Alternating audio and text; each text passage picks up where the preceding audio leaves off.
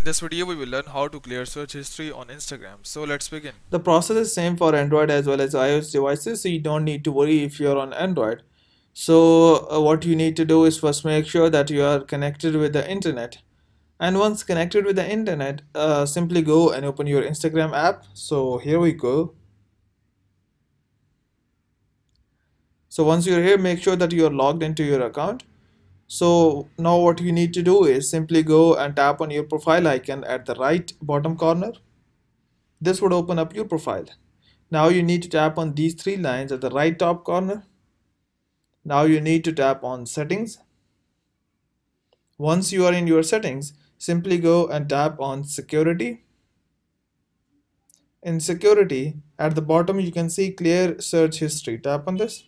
This would show you a recent uh, searches on your Instagram account.